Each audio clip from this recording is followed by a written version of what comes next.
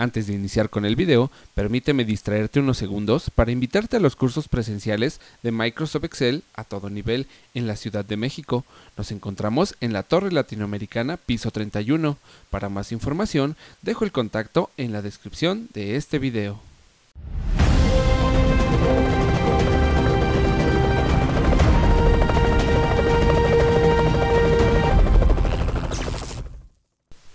Cuando creamos listas desplegables en Excel, muchas veces será necesario que cuando selecciones un elemento de la lista, este ya no se encuentre en una segunda selección, es decir, que sea una lista discriminatoria o descartable, y por ello cuando hayas elegido un concepto, este ya no se muestre en la lista siguiente.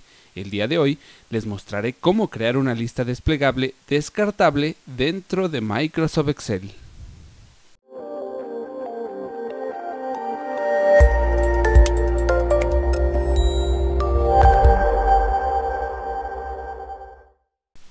Ya lo mencioné, las necesidades en Excel a veces son tan variadas que tener una lista desplegable que discrimine datos conforme los vamos seleccionando será de gran ayuda, ya que nos evitará seleccionar dos veces información que ya no es necesaria. En este video veremos un ejemplo con los siguientes datos.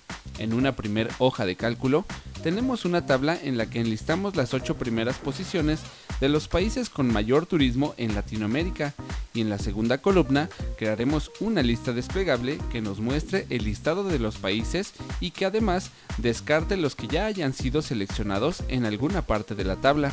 Por otro lado, para lograr esto nos ayudaremos de una tabla alterna que servirá para ejecutar este truco. Esta tabla constará de 5 columnas, en la primera escribiremos los nombres de los países mayor turismo en Latinoamérica y las siguientes 4 columnas las nombraremos como ayuda 1, 2, 3 y 4. Para iniciar la parte interesante, en la columna 1 vamos a crear la siguiente función. Escribimos igual si y abrimos un paréntesis.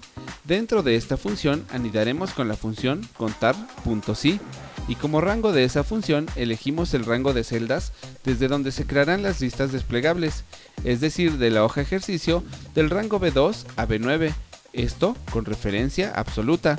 Como criterio, el valor de la celda A2, en este primer caso, igual a México, y si el resultado de esta función es mayor a 0, en valor si verdadero indicaremos que blanco como resultado, y en valor si falso, entonces que nos dé el valor de la celda A2. En la columna 2 crearemos otra función.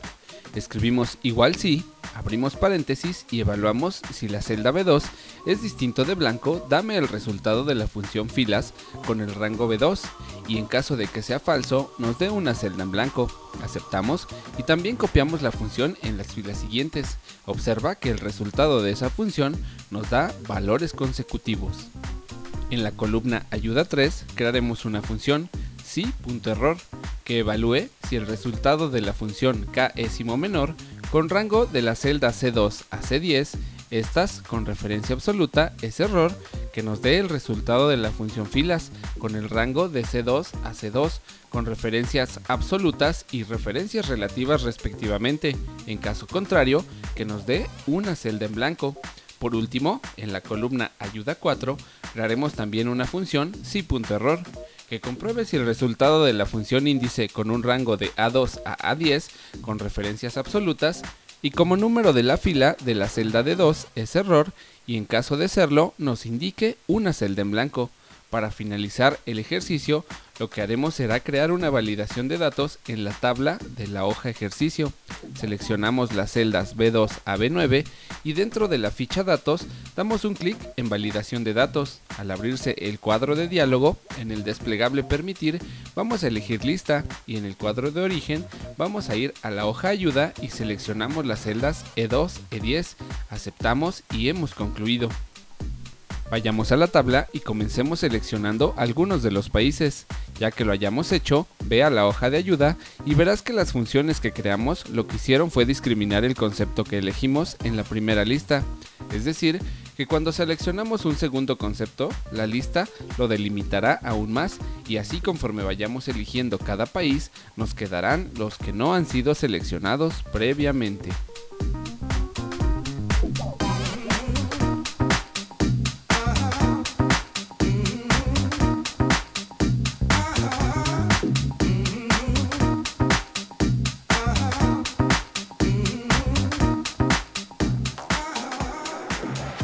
Si eres un tanto observador, notarás que estas funciones fueron las mismas que utilizamos cuando creamos el buscador tipo Google, así que te recomiendo analizarlas a detalle para que las puedas aprovechar en esta y alguna otra herramienta que te sea de utilidad. Como siempre, te dejo en la descripción de este video el enlace para que descargues el ejemplo y lo revises detalladamente.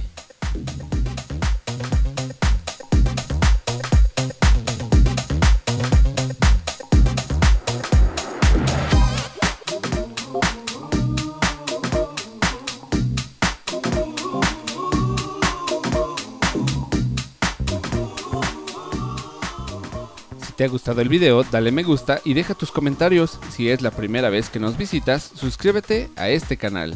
Esto es Microsoft Excel a todo nivel. Les habla su amigo Víctor y nos vemos en el siguiente video.